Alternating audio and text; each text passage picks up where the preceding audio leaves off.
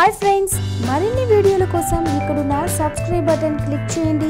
పక్కనే ఉన్న bell button కూడా యాక్టివేట్ చేయండి. ఒక్క చోట ఒక్కో తీరున కరోనా వైరస్ విజృంభిస్తుంది. అన్ని చోట్ల ఆ వైరస్ ప్రభావం ఒకే తీరున ఉండటం లేదని పలు పరిశోధనల్లో తేలింది. ఈ క్రమంలో వైరస్లో మార్పులు వస్తున్నాయని తెలుస్తుంది. ఆ విధంగానే వైరస్ ప్రభావం ఉంది.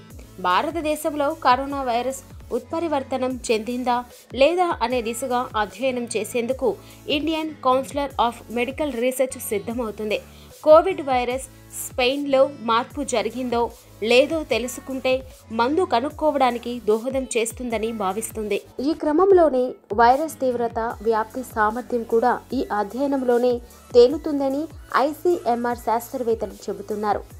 దీంతో దేశవ్యాప్తంగా కరోనా రోగుల నుంచి నమూనాలు సేకరించి పరిశీలించేందుకు సిద్ధమవుతుంది.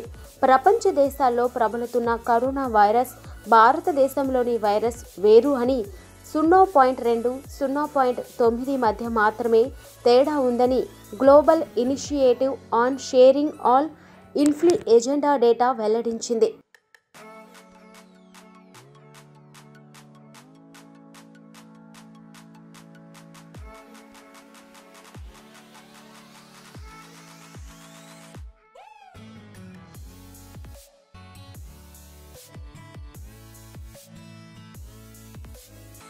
ఇన్ఫ్లుయెంజా వైరస్ సీక్వెన్స్ను ఏపీడివియాలజికల్ డేటాను పరిశీలిస్తుంది.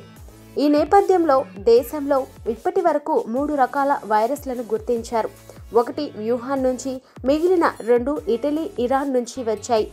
అయితే వాటిలో ఇరాన్ చైనా నుంచి వచ్చిన స్పెయిన్స్ ఒకే మాదిరిగా ఉన్నాయి. ఆ విధంగా ఎందుకున్నాయి అనేది అర్థం కావడం లేదు.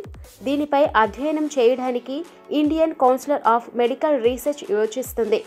స్పోర్ట్స్ కోవిడ్ టూ తన రూపం మార్చుకుందా అనే విషయాన్ని తెలుసుకోవడంతో దీనికి విరుగుడుగా కనుగొనే వ్యాక్సిన్ సమర్థవంతంగా పనిచేస్తుందా లేదా అనే విషయాన్ని నిర్ధారించుకోవడానికి ఉపయోగపడుతుందని శాస్త్రవేత్తలు చెబుతున్నారు.